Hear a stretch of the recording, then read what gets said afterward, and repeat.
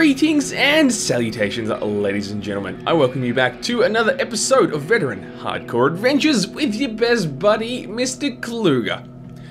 We are level 34 here with our totem focused slash pet focused. Uh, what's the character class? Conjurer, which is shaman and occultist. As you can see, I've got my buddy Hellhound over there and Raven and Briarthorn. And uh, Hellhound man keeps stepping in the thingamabob, but he's not getting hurt. So that's okay. So, hope everyone is well and good and having a fantastic day. Here we are, level 34. Yes, a I spent some time live streaming this character over on well, on my YouTube channel. I've been trying out the YouTube stream, which is a very cool thing, I have to be saying. So I'm going to be trying that out for the foreseeable future. Uh, link here on screen as we speak um, to check out the video uh, because YouTube streaming is cool and gives you a video after you have made the stream go live and you did it and things. I'm speaking really well today, as you can plainly hear. Uh, yeah, so go over there if you want to watch the stream, um, and I'll be hopefully doing further streams of this character as well um, in the times to come, so keep an eye out for that as well, on YouTube of course. That being aside, level 34, Now, how have we progressed? Uh, first we'll have a look at Occultist, since we're here. The main changes here is that I have incorporated Curse of Frailty and Vulnerability into the build, um, I've only put one point into Curse of Frailty for now, and I'm just getting a boost off one of my items. Um, I'm, at least for now, mostly wanting to focus on Vulnerability because of its debuff to Vitality, uh, debuff to enemies of Vitality Resistance, uh, because our, almost our exclusive damage source coming from us is Vitality damage, and so that's a very big interest to us. So the playstyle is a little bit different to where, you know, I'm slamming down totems and spamming the crap out of Curse of Frailty to try and get the full effect of that. Probably crank a few more points into it. Uh, one point into Hellhound for now. Um, again, I will probably try to get more points into him as we go. And Raven, I don't know if was, this was last episode, but I have got his Mend Flesh at one point for the time being. Over to the Shaman Mastery, uh, it's more or less the same. Just trying to crank points into the totems as much as we can. I'm up to 9 points in Storm Totem, 4 points in Wendigo, and 3 points into the Blood Pact.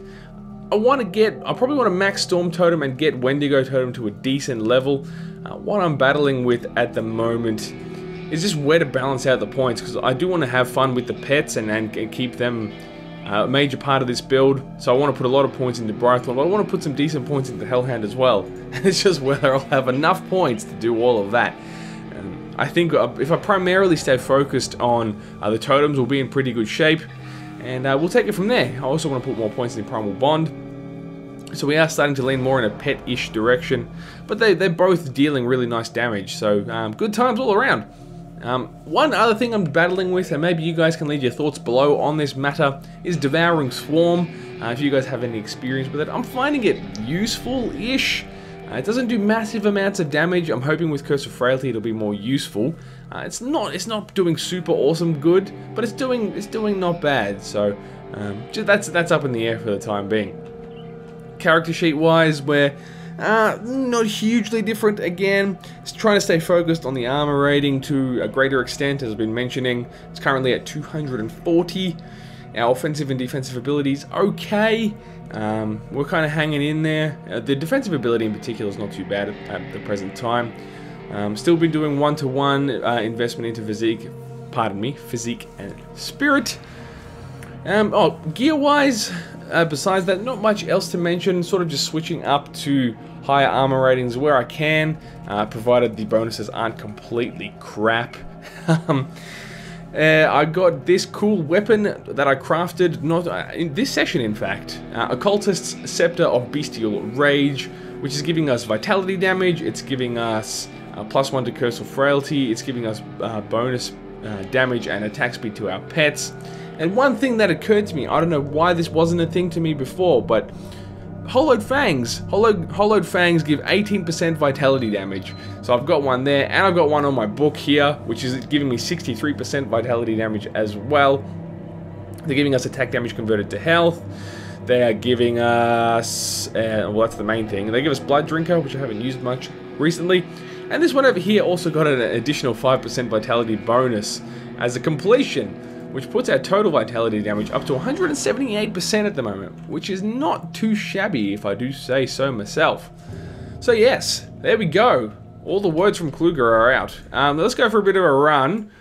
So I'll show you what I mean. So there we go. Just get all the totems down, spam in Curse of Frailty, and then I just hit people up with, uh, with, what's this skill called again? Uh, Devouring Swarm. So I want to try it. If I hit this guy and then boom, boom, it doesn't do masses of damage. It's a lot more damage is coming from the totems, but it's it's handy, I suppose. Like I was saying, um, it's not much else to mention, I, I guess. I mean, the, the playstyle is, is pretty pretty well rinse and repeat. Um, you, I've got the, the whoa, a bit of a lag spike there. That's not cool. Um, I've got the Hellhound and Briarthorn on aggressive and Raven set to defensive. So basically, the two uh, offensive pets just go and, and smash whatever they can find. i am mostly trying to just use Raven for the purposes of, of healing and uh, keeping us play, playing the support role basically, and we thank him for it, of course. Um, I've also got the uh, summon, what's this dude called? The Ancient Spirit of something? Primal Spirit, pardon me, I'm silly. Uh, which I'm mostly using when a hero monster or a very large pack of mobs rocks up, just for the extra extra backup, I guess, which is very cool. So that brings us up to four pets. I'm using this thing here, Marrowband, which gives us 5% chance to summon a Stalwart Guardian when we're hit, which brings us up to 5 pets, potentially. And then I do want to also use the Black Grimoire of Og'Napesh, which will bring us up to 6 pets maximum, which is pretty damn cool. We'll have a veritable army chasing us around, plus 2 totems. So this is kind of like the ultimate well, the thing is, it, it, sounds like a lazy build in a way, where you think you can just sort of throw these things down and let them do their work, which you kind of can sometimes against like really weak mobs. You can kind of just chuck the totems down and let the pets do the rest. But it's a pretty active, uh, especially since we've hit Act 3, it feels pretty active, because you got to make sure you place your totems correctly. You want to get a second Storm Totem down as quickly as you can. You want to make sure that Curse of Frailty is on as many enemies as you can manage. And you want to make sure your pets are fighting the right things and aren't getting deaded too much.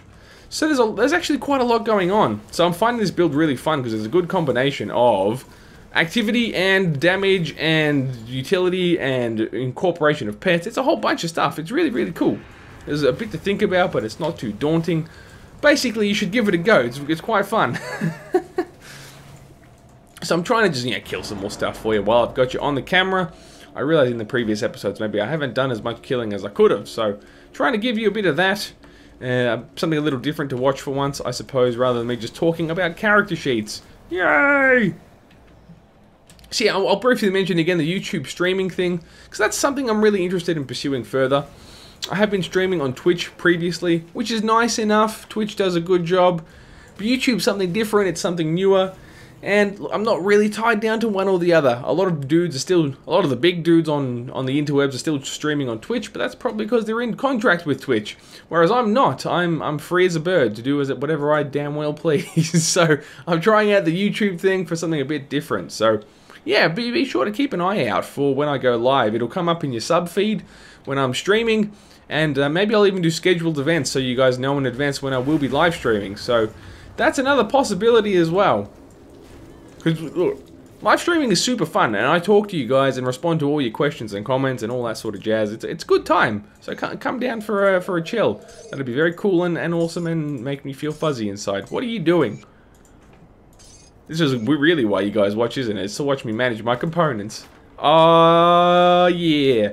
Cool. Let's keep killing a bit. Um, oh, Blessed Steel. Very nice. One, two, three. So I'm kind of in a sequence here. I could cast Curse of Frailty first. It would probably make more sense, but it seems to be a null and void in terms of that sequence. It's, it's not really too bothersome. I like to get Wendigo Totem down first a lot of the time because um, it's kind of immediate damage and it kind of sets the stage for where your where your exchange is going to take place with your enemies. That being said, look, it doesn't really matter because you can get you can get Storm Totem down nice and quick and then you can get another one out nice and quick. You gotta, you gotta. I've currently got a, a summon limit of three, uh, pardon me, a summon limit of two on that. Uh, oh no, it's a three summon limit now. Hell yeah! Maybe I've just got that because I put it up to 9 out of 16 just now. That's badass. So, hang on a sec. Um, it's a 5 second skill recharge and it lives for 12 seconds. So yeah, I could, if I could spam the skill quick enough, I could get 3 out there pretty soon. Uh, well, for, for a short period, but skill cooldown reduction is probably where it's most going to come into play. But that's really cool. I, I'm going to be constantly spamming that now. Let's see if we can pull it off. If I can get around. Can I get around this thing or what? Oh, whatever. The map's, map's deceiving me. It's a liar. Now I've got to go all the way around there. Okay, we'll go and do that little pocket. Hey, back off. Alright, we'll kill these dudes first. One, two, three. Get the curses out there. Keeping an eye on Storm Totem. Come on, baby. There's, a, there's a second one. Come on, baby. There's a third one. Oh, yeah. And the first one's going to die any minute. Any second, rather. Pew, pew, pew, pew, pew, pew. Get another Storm Totem, because they're useless back there.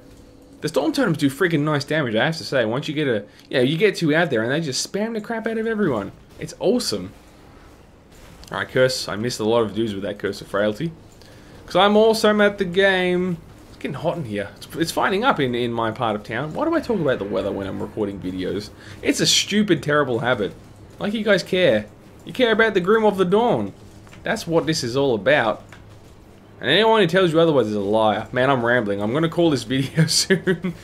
um, yeah, so definitely the live stream thing. I mean, that's probably where you're going to get most of the extended footage of me playing this game from now on. So do check that stuff out. I'll, I'll run, uh, probably Steve and I will, Steven's my, my co-conspirator in YouTube land, will run the remaining act once it comes out. But that's that's a story for another day.